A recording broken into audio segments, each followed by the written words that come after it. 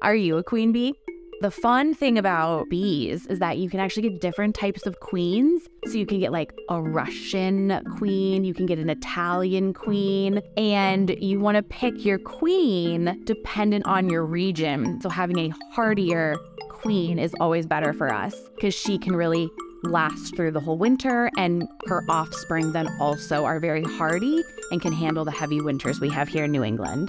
In a colony of 50,000 bees, there will be over 49,000 workers, 300 drones, but only one queen.